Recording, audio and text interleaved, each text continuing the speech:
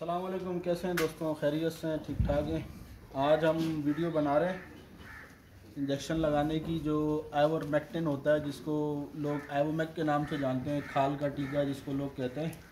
तो उसको लगाने का क्या तरीका कार है और किस तरह लगाना है, कितने अरसे के बाद लगाना है और उसके फ़ायदे क्या है?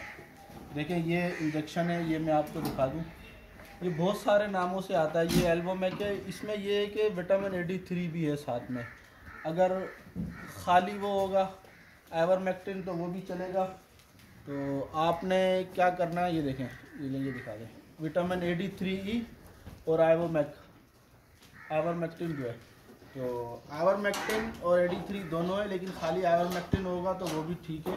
तो ये आप जब नए जानवर को किसी को भी लगाएँगे, जब आपने पहले दिन लगाना है तो उसके बाद फिर जो है आपने लगाना है उसको दस दिन बाद या हफ़्ते बाद, उसके बाद फिर आप इसको रिपीट करें तकरीबन हर डेढ़ महीने में, दो महीने में लगाएँ। हम अपनी बकरियों को दो दो महीनों में लगाते हैं एक दफ़ा। और ये देख लें, इसके लिए आपको निडल चाहिए होगी मोटी।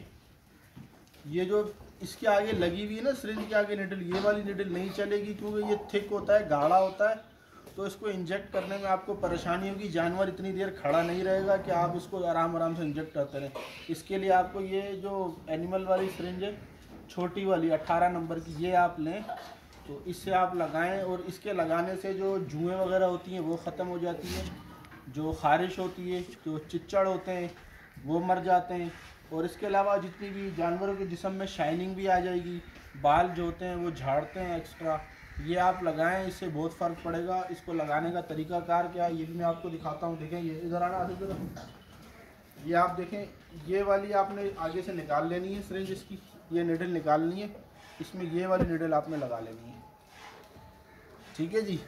ये वाली निडल लगाने के बाद, ये जो बड़ी बकरी है, बड़ी बकरी को आपने लगानी है दो सीसी जिसका वज़न तकरीबन 50 केजी से ऊपर है या 50 केजी के करीब भी हमारे पास तो बड़ी बकरियाँ, सारी गुलाबी ब्रीड की ये बड़ी इनको आपने दो सीसी लगानी है।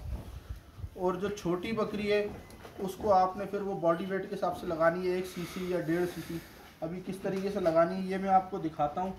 ये आपको दिखा दें ज़रा करीब से। देखें, ये इस तरीके से इसको आपने पकड़ना है खाल को। जब आप खाल को खींचेंगे, देखें, ये बीच में एक खड्डा सा बन गया ट्राइंगल था। इसमें आप इंजेक्ट करें। इस तरीके से और ऐसे लगा दें। बस ये लग गया इसको। तो इसी तरीके से आप इसको लगाएँ इंजेक्शन को। और जब पहली दफ़ा आप लगाएँगे तो उसके बाद आप लगाएँ इसको सात दिन बाद या दस दिन के बाद। उसके बाद फिर आप इसको रिपीट करते रहें। तो हमारे चैनल को ज़रूर सब्सक्राइब करें और वीडियोस को शेयर करें। और देख लें आप, एक दफ़ा और मैं आपको दिखा दूँ किस तरीके से इंजेक्शन को हमें लगाना है। ये देखें, ये दो शीशी मैंने भरा है, जहाँ दो लिखा हुआ है वहाँ तक। उसके बाद ये देखें आप ये कैसे लगाना है। अच्छा ये जो है ना, ये तकलीफ़ भी करता है। ये भी आप इस बात का ख्याल करें कि ये कुछ जानवरों को जो है ना, तकलीफ़ भी करता है।